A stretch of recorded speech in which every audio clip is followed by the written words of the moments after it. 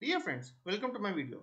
In this video, we'll see how to fix the JSON exception expected literal value at character some uh, number it will give in your Android app code or in the Java code basically. So let's begin. First, we'll create a new project. You can name it anything and JSON exception error app. And rest of things I'll leave it as it is and click finish and wait for the environment to load. So first I'll reproduce the error in my uh, particular code and for that what I have done is I will I've just done a quick Google of sample JSON uh, file or code. And uh, the first thing itself provides me a couple of JSONs so I'll just use this JSON and I'll introduce some error and show you how we can reproduce this issue. So say for example first I'll create a class variable. Not over here sorry about that. Over here private string. So this will be like my string JSON and over here I'll use the JSON what I have just now copied from here. But this is the correct JSON so it will work out. So what I'll do is say for example at the end also after red the color red I'll introduce one comma here which is an error because at the end it doesn't expect any comma over here. So once I've introduced that and then I will try to reproduce the issue while converting this string JSON into a JSON object. So I'll create another method say for example click void button read JSON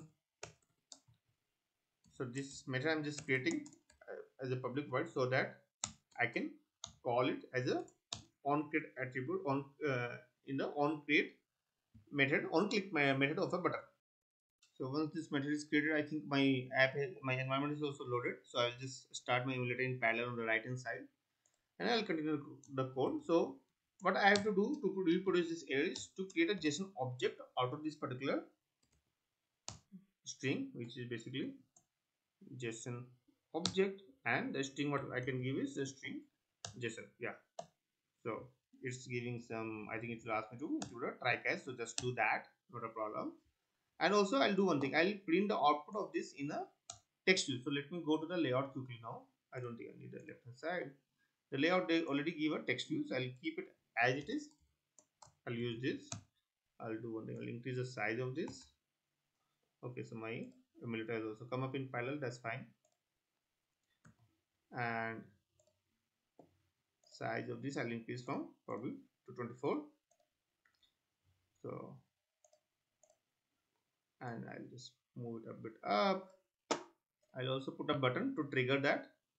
So and I'll name this button as for example read JSON give it some constraints and in the on click attribute of this button I'll add that particular method what I've just not defined so button I think I can minimize the uh, emulator for a time yeah so that's all from my layout perspective. I'll go back to the Java code and here I'll create one more class variable for the text view. Text view which I will in my on create method I'll define it this way now I'll use this text view to print or to set the no not show clock. I'm not sure from where that thing came. Text view dot set text. And here I can read something from JSON object say for example get string and one of the strings could be probably fruit. I can print right?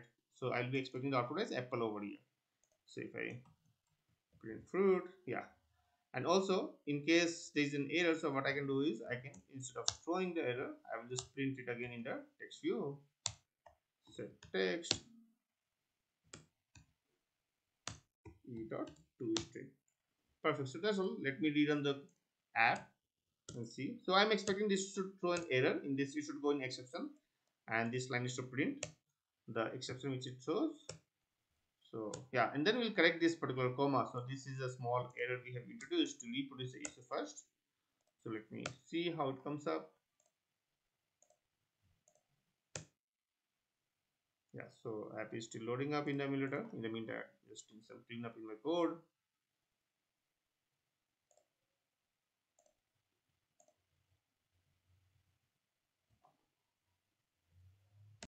So let me start running the app again let's see what happens this time. So app is coming up. Ah so it came up this time. So let me click on this. Perfect. So if you can see we get that error what we expected right? So JSON exception.